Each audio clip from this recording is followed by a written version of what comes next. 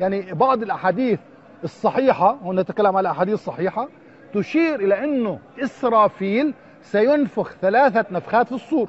النفخة الأولى اسمها نفخة الفزع والنفخة الثانية يموت فيها كل من على أو كل من في الدنيا في الحياة في السماوات والأرض إلا ما شاء الله سبحانه وتعالى. والنفخة الثالثة اللي هي نفخة البعث يبعث كل من في القبور. هذا شو بنسميها أيضا؟ الصيحة. هلا هل ممكن إنه صيحة العذاب تكون من خلال إسرافيل؟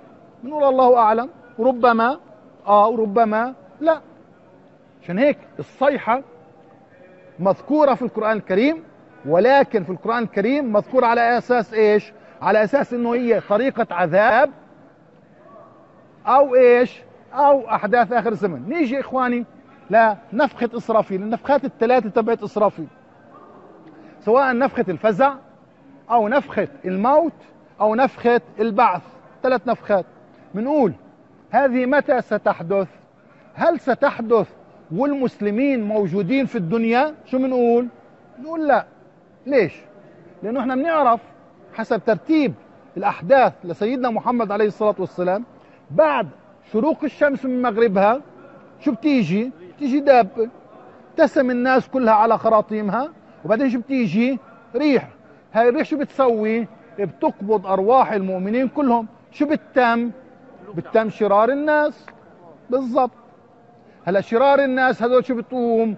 عليهم أهوال يوم القيامة. فالنفخ في الصور فين راح يكون؟ على شرار الناس. ما راح يكون على المسلمين. ولكن سبحانه وتعالى هون لما انتقل في الخطاب انتقل في الخطاب.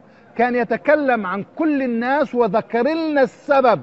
اللي بده يجي فيه الدخان إنه إيش؟ إنه في من الناس أناس مخصوصين أو جماعة ستحاول التلاعب بالقدر وإحياء أو إماتة الناس وتقول هي المسؤولة. عشان هيك الدخان لن يتصاحب مع الصيحة. إذا قلنا إنه الصيحه شو معناها؟ معناها النفخ في الصور. فالدخان لن يتصاحب مع النفخ في الصور. خلينا نقول كذا. طيب نيجي ناخذ الاحتمال الثاني إنه الصيحة شو تكون؟ طريقة عذاب طريقة عذاب. ونيجي نسأل أنفسنا يا إخواني العذاب اللي إحنا بنعرفه طول ما المسلمين عايشين. هلا إحنا عايشين مزبوط هلا من هاي اللحظة بنعرف بعدين راح يجي هلا يبين المهدي. بعد المهدي راح يبين الاعور الدجال. بعد الاعور الدجال راح يبين سيدنا عيسى عليه الصلاة والسلام. بعد سيدنا عيسى راح تكون الملحمة الكبرى. بعد الملحمة الكبرى في عندنا يأجوج ومأجوج. بعد ما ياجوج وماجوج سيموت سيدنا عيسى. وستهدم الكعبة وستشرق الشمس من مغربها. هي رتبناها كلها. نيجي نسأل أين العذاب في هذه المرحلة اللي بتناسب مع كلمة الصيحة؟ لو افترضنا إخواني لو افترضنا إنه سيأتي عذاب على بني إسرائيل إنها دخلت الأرض المقدسة بطريقة محرمة هذا العذاب شو راح يكون؟ بالذبح.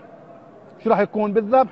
زي ما علمنا الرسول عليه الصلاة والسلام في حديث آخر الزمان عن الشجر والحجر إن الشجر والحجر سيتكلم وكلنا بنعرف هذا الحديث. ف والباقي شو بده يسوي سيدنا موسى سيدنا عيسى؟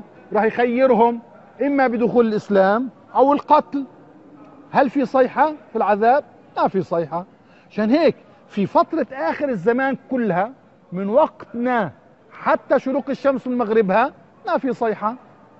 تتوافق مع الدخان. عشان هيك بنقول إن الدخان شيء والصيحة شيء آخر.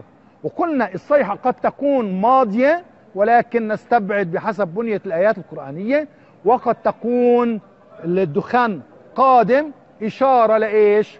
للكفر بالقضاء والقدر